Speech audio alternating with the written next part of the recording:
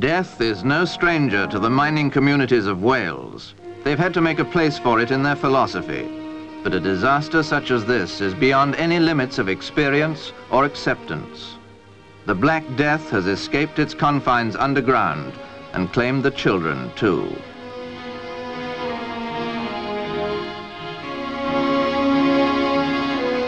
Aberfan will be remembered not only for the lost generation entombed by the moving mountain, it'll be remembered as a fearful lesson for the future. It will also be remembered for the almost superhuman response that engineered a vast army of volunteers to work without rest or pause day and night in a frantic rescue attempt.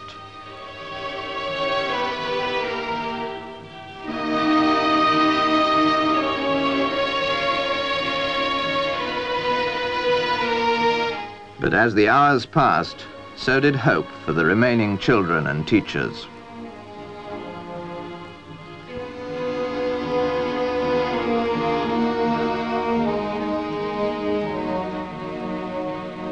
By dawn on Sunday, over a hundred bodies had been brought out. Smoke still poured from fires in the buried terrace of houses, but thanks to machinery and men, the flow of water from the tip was being diverted.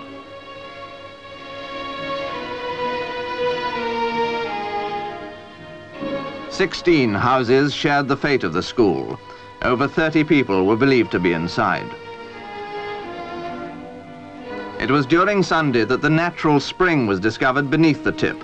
The pressure of water from this, along with the heavy rains, is thought to have turned the mountain of colliery waste into the water bomb that caused the disaster. Prince Philip walks through the devastation of Aberfan, one of the many who came to share the sorrow and commiserate with the bereaved.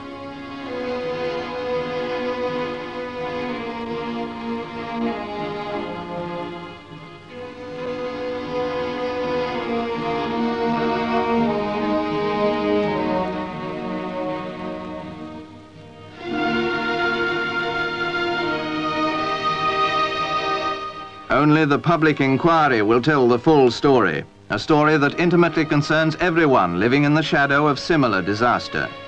For the moment, the story is told in these tragic pictures.